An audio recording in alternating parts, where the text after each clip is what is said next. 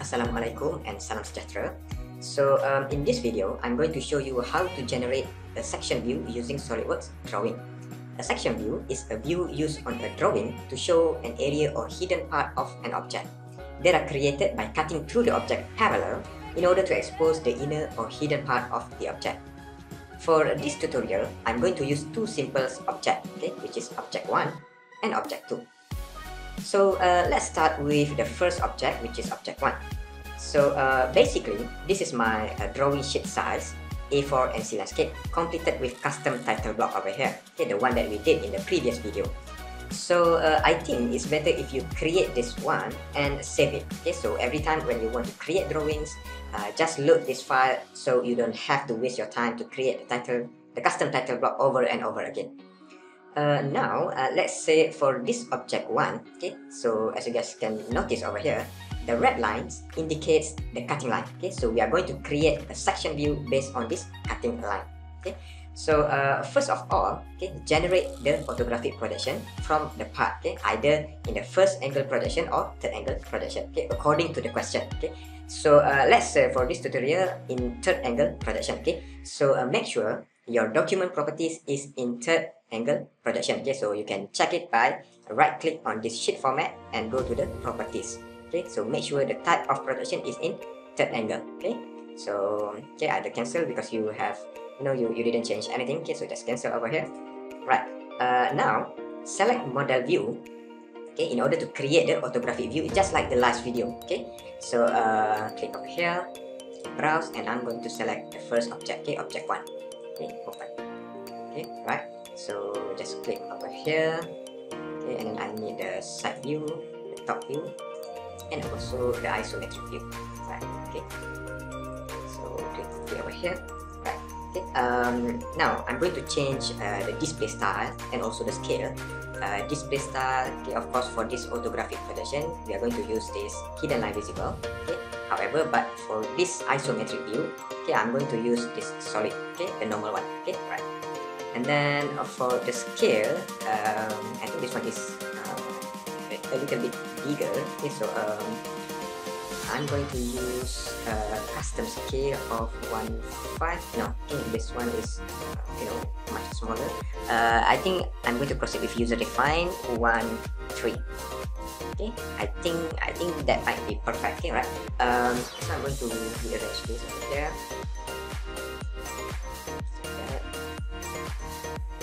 is over here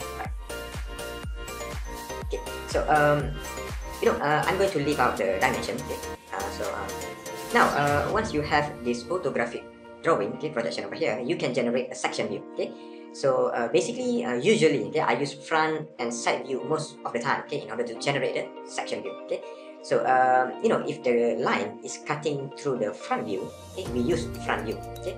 If the line is cutting through the side view, then we use side view, okay. So according to this picture, this question, okay, the red line is cutting through the side view, okay. So we are going to use side view, right? Okay. So uh, now all you have to do is just uh, click on this. Uh, section view over here okay now let's okay over here now click on this section view okay right at the top of you know at this uh, command manager okay so section view okay now we have the option to choose the cutting line okay? So either it's vertical or horizontal okay? You may also use uh, this auxiliary and also uh, a line okay? But most of the time we use only vertical and also uh, horizontal okay? So uh, from the side view okay? From this picture okay? The cutting line is vertical okay? So we choose vertical okay? And technically from here you can select any point to cut the object okay? So any view any point but remember that we are going to use the side view so this is the side view okay? So uh, however according to the question again okay the cutting line is at the center okay? So we need to select the middle okay the middle the center of this side view okay? So um, okay you can zoom right? Okay so you know it is at the center when there is a small uh, orange dot appear on the line okay or this entity okay? Right. Uh, you know so uh, select that point okay and click ok over here.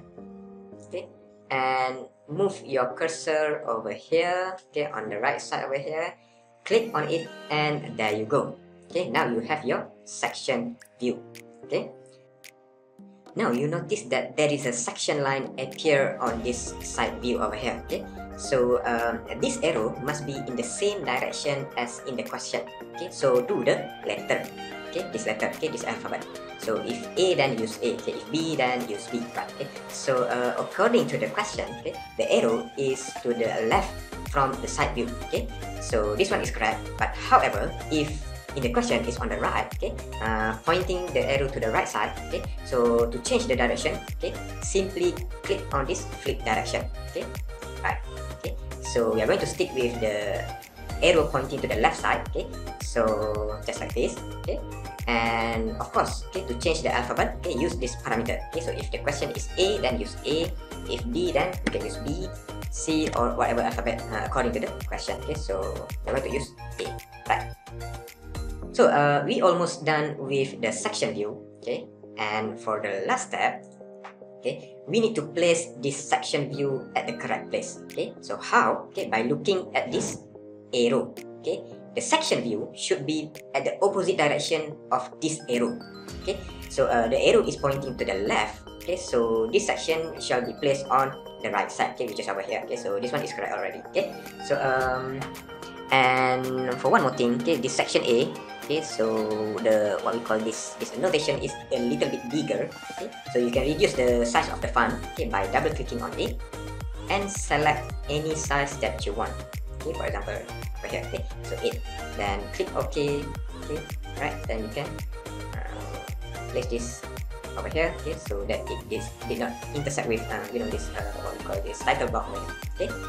So um, there you go okay so easy right? Okay so i think we are good to go and just save this file and you are done okay?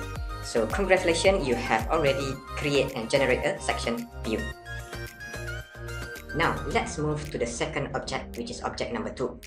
So as you can see over here this is the second object okay? So uh, we have two support at the middle okay? Both look almost the same. However the support at the back use the rib features, okay, while the front one does not use a rib feature. Instead, it is a triangle sketched at the middle and use extruded boss. Okay, so in sectioning, okay, when it comes to rib, okay, there will be small different view you will notice. Okay, I will show you later.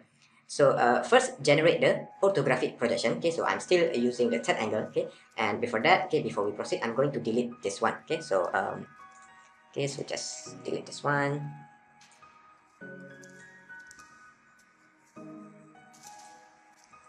okay just delete this one right okay now we are good to go. So uh, now select model view. Okay in order to create the orthographic view okay um, okay for this second object right here okay just like previous one okay so put it over here okay set view top view okay and also uh, the isometric view okay and hit ok right. So i'm going to change uh, you know the display style okay same but however for this isometric uh, we will use the normal one okay right? So um, okay and then for the scale uh, I'm going to use the same scale as previous okay which is 1 3 okay right. So let me rearrange this one okay.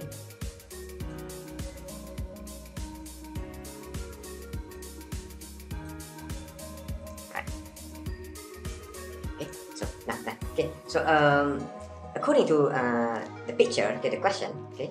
So um, the red line is cutting through the front view okay? So we are going to use front view okay? So um, click on this section view and then of course choose vertical okay because the line is cutting vertical okay? And then select the middle section of this front view okay? So I'm going to zoom this one okay? And the uh, orange dot appear okay? So um, now click over here click OK. Now okay when you click OK a dialog will be from out okay? So uh, SolidWorks know that you have a rib feature in this object okay? So all you have to do is just click on that rib part okay? So the rib part is basically this one okay? Uh, the taller one okay? So uh, just click over here okay? Once you click it will be added into the list okay? So just click OK and you are good to go okay? So I'm just going to place uh, what we call the section B over here right. Okay. So uh, now it's time to check the arrow. Okay. The direction of this arrow and also the alphabet. Okay. So according to the question okay uh, it is on the right side from this front view. Okay. So i'm going to change this one. Okay. Flip direction. Right. Okay. Just like that. And and also okay for this alphabet okay which is b okay it's correct. Okay. And lastly okay the section view okay must be placed opposite direction of this arrow. Okay so just bring this section view over here and you're good to go. Right. Okay so let me rearrange this one. Right okay perfect. Right okay so change this font okay using 8 or 9 okay. Right. Okay let me fit zoom to fit. Right okay then there you go okay. So here you can see the difference okay over here. Okay this section view okay? So even though both support look the same but if you use a rib feature to create the support okay then the section view of for the support okay will not be shaded okay? If you do not use a rib feature which is this one okay then the section view of the support will be shaded okay? So i hope you guys do understand the difference okay between a rib and a non-rib support when it comes to section view okay? So um i think that will be the lesson for this video okay? So uh, don't forget to like and subscribe to this channel so that you won't miss the next lesson okay? So thank you very much and see you in the next video